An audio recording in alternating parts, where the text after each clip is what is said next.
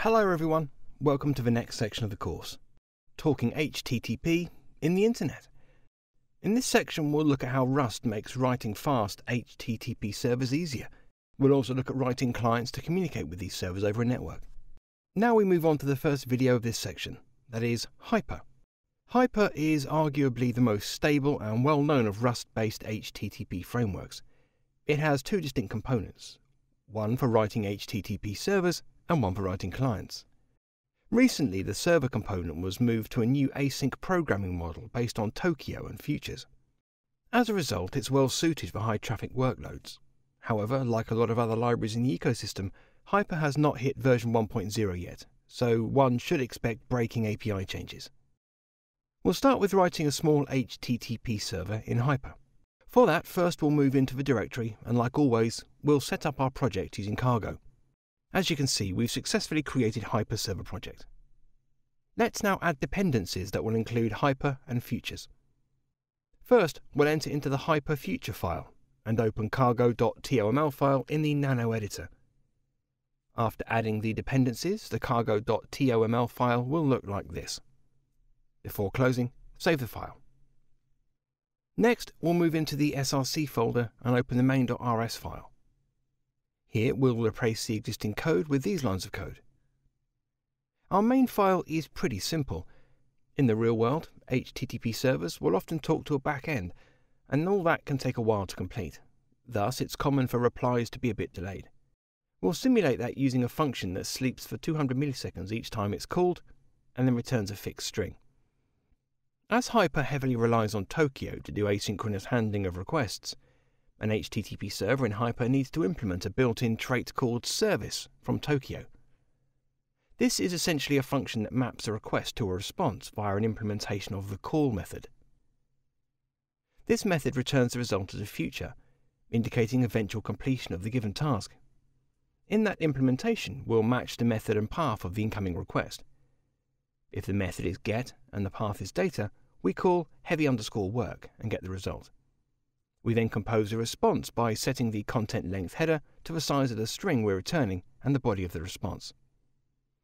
In our main function, we'll construct our server by binding it to a known port. In our case, we're using 8080 port. At the end, we'll call run on it to start the server. After that, we'll come out of the src folder and execute cargo run command to compile the program. To interact with the server, we'll open a new terminal and execute curl command. Let's benchmark our server. For this, we'll install Apache Bench from this official website. In the terminal, we'll run 1000 total requests from 100 clients in parallel by passing some command line parameters to Apache Bench. This will take a while to complete, and we're waiting 200 milliseconds before returning each response. So we'll execute this command to initiate the benchmarking process. It will take some time, so be patient. In our case, we're benchmarking for 1000 requests, so we'll wait for at least 200 seconds. On one run, the output will look like this. As you can observe, across all requests, the server is taking around 104.050 milliseconds to reply back. This matches our expectation of 100 millisecond, with the extra time being spent on other things. Also, our server is processing 9.61 requests per second, which is way too low for a reasonable server. This is all because our server is single threaded, and only one thread serves all clients. This server also ignores the fact that multiple CPU cores are available on the host. Once it's done, we'll go back to the Section 6 directory. Let's go ahead and write a server that largely does the same thing, the difference being that this one uses multi-threaded heavily and uses all CPU cores. Here we'll create a new project. Cargo setup for Hyperserver Faster will look as shown here. To add some more crates as dependencies, we'll first open cargo.toml file in the Nano editor and add these dependencies in the file.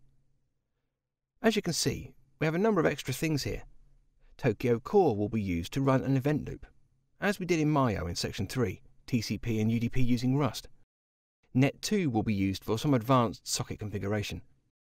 And num CPUs will be used to figure out the number of CPU cores on the machine. Saving this file, we'll be moving on to the main file. From src folder of Hyperserver Faster, we'll open main.rs file in Nano Editor.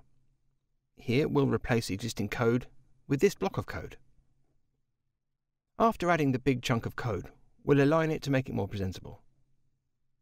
Having set those up, our main file is pretty simple. Functionally, this server is exactly the same as the last one. Architecturally, they're very different. Our implementation of service is the same. What changed majorly is that we split starting the server on two functions.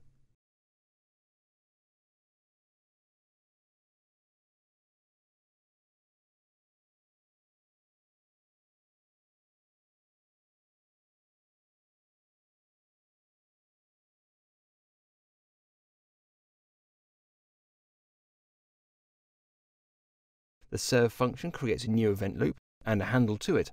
We'll create our listener using net2 so that we can set a bunch of options on it using the TCP builder pattern. Specifically, we set so reuse port on the socket so that under high loads the OS can distribute connections to all threads fairly. We also set a backlog of 128 for the listening socket. We then loop over incoming connections on the listener, and for each we run our service implementation. Our start underscore server method takes in an integer that corresponds to the number of calls on the host and address as a string. We then start a loop and run the serve method in new threads. In this case, our HTTP instance will be passed to multiple threads. Thus, we need to wrap it in an automatically referencing counting. That is ARC pointer, because that guarantees thread safety of the underlying type. Finally, we'll call start server in our main function using get method from num CPU's package to get the number of cores on the machine. In the main function, we'll update the IP address and change the local host as 8080.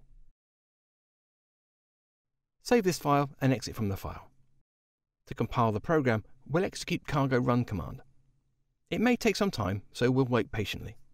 Once it's done, we'll switch to the new terminal. Here, we'll execute a command to initiate the process of benchmarking. It'll be done in the same way as last time and shows these results at the end. This server's throughput is around double the last one, primarily because it uses threading better. Requests still take over 200 milliseconds to process, as expected. Note the actual time taken by this will depend on the hardware and conditions of the machine running this. That's all about hyper, future, and benchmarking.